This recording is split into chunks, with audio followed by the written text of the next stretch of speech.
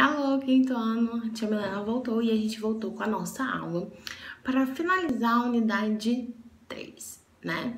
E a gente vai falar um pouquinho mais sobre o ING. Então, let's go!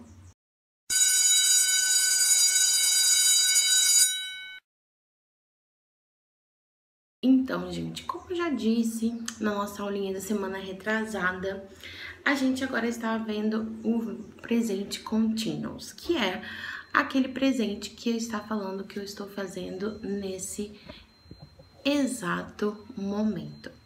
E aí, no inglês, a regrinha, então, para falar isso, é demonstrar, diferenciar essa forma verbal, é utilizando as três letrinhas I, N, G.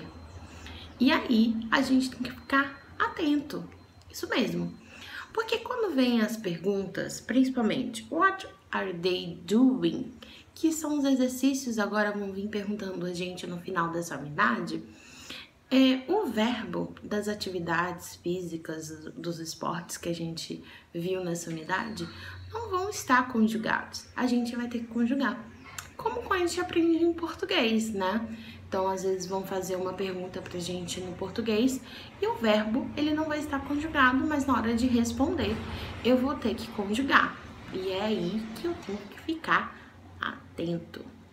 Então, como eu vou saber que eu vou ter que colocar esse ing nesses verbos? É isso. É assim. Se a pergunta é What are they doing? Eu já sei então que eu vou ter que conjugar os verbos. Por quê? Porque olha lá, o final, doing, o verbo, aí é o verbo do. E a gente já viu. Se tivesse what are they do, então o que você está que vai fazer, o que, que ele vai fazer, eu não ia conjugar o verbo na minha resposta. Só que a pergunta já está doing, o que ele está fazendo. Eu quero saber então o que ele está fazendo naquele momento. Então, é, não que ele vai fazer. E aí, eu vou utilizar, então, a, ing.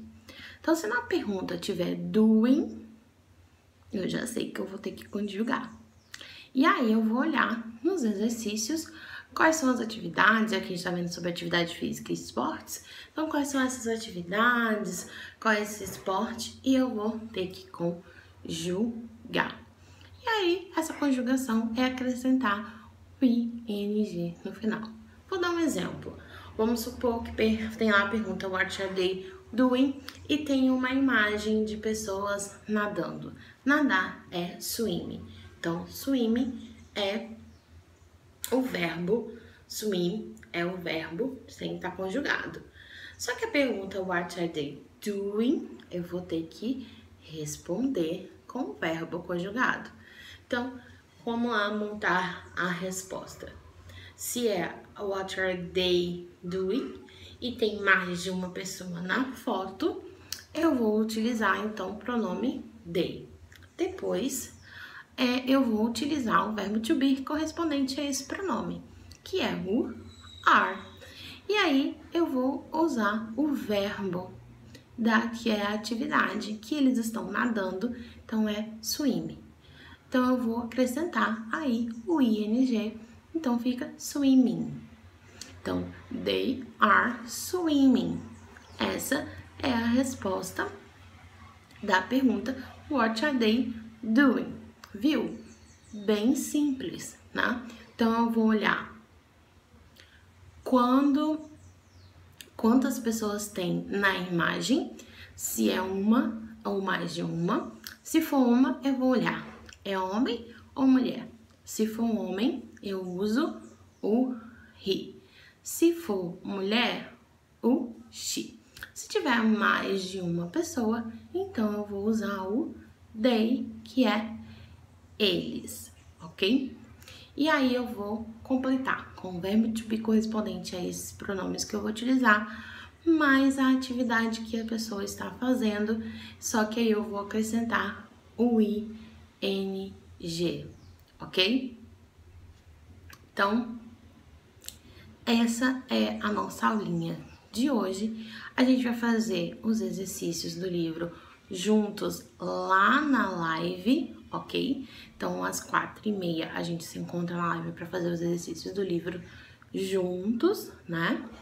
Mas a gente tem alguns exercícios impressos que vocês já pegaram lá na escola ou imprimiram em casa. Então, esses exercícios, vocês, né, no dia 10, vocês já podem estar tá fazendo. É, tem um exercício do For July, e aí vocês podem fazer outros dias, não tem necessariamente fazer hoje. Mas os outros exercícios é para fazer. E aí tem junto uma atividade avaliativa valendo três pontos que vocês vão estar então confeccionando aí, já que está falando sobre atividades, né, sobre esportes, confeccionando um, um banner, né, o que a pessoa pode pegar aquilo e ter informações sobre uma atividade. Então vocês vão escolher uma atividade física, é, de preferência dar é, exemplos das atividades que a gente está vendo no nosso livro, então swim, é, play a football, play a soccer, play a basket, né? É, run, que é correr, é, a bike, né? Andar de bike, essas atividades que a gente tem visto, judô, balé, a gente tem visto na unidade. Você vai escolher qualquer uma delas e aí você vai fazer uma pesquisinha básica na internet e vai é, escrever essas informações. As informações que vocês vão escrever podem ser em português, só que aí as perguntinhas estão em inglês. Então você vai ver time a week. Então, quantas vezes na semana você vai é, dar de formação para a pessoa praticar esse exercício? Reduce calories. E aí, quantas calorias eu, a pessoa perde praticando esse exercício, né? E aí tem um tempo, tipo, ela perde 100 calorias praticando 30 minutos. Então, você tem que colocar o tempo também. É, os benefits, quais os benefícios de fazer essa atividade. E por último, prevent. É, tem alguma prevenção? Tipo assim, qualquer pessoa pode fazer? esse exercício ou é, a gente tem que ter certo cuidado para estar fazendo.